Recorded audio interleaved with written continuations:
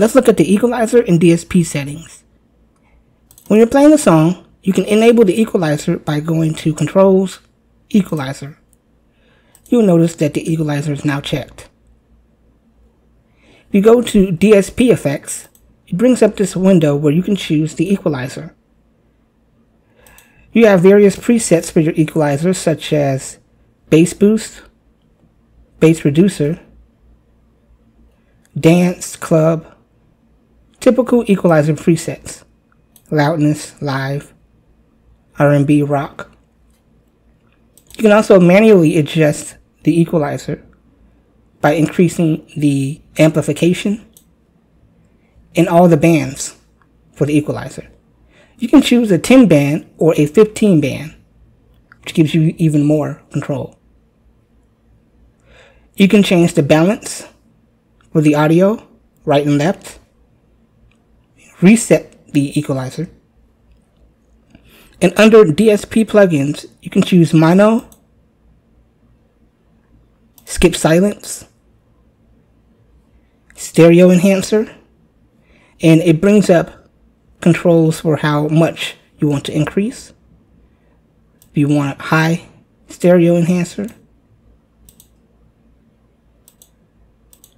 So you can check all of these that you want tempo control, for example, and you can adjust the speed, pitch, and sample rate.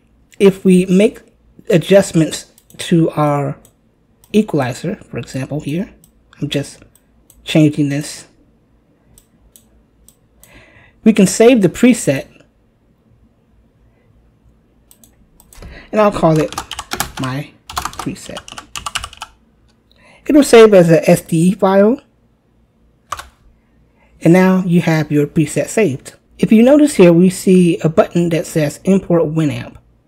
This will allow us to add DSP plugins. If we open our browser and search for Winamp plugins, we can go to this website, Winamp Heritage, and we can see a list of plugins. I'll go to DSP effects and we can see all the DSP plugins. I'm going to get the Real Bass Exciter and I'll click download plugin. It's asking us to right click and save as. So I'll do that and save as this exe. We hit save. And now we can install this plugin. We'll go through the installation process and hit install. And finished. Now, we click this button and go to our programs files under Winamp, plugins, and we see the DLL file. We click it, we now have the plugin installed in our MusicBee. And now we can adjust our Real Bass Exciter plugin increase the threshold frequency, harmonic frequency, and so forth.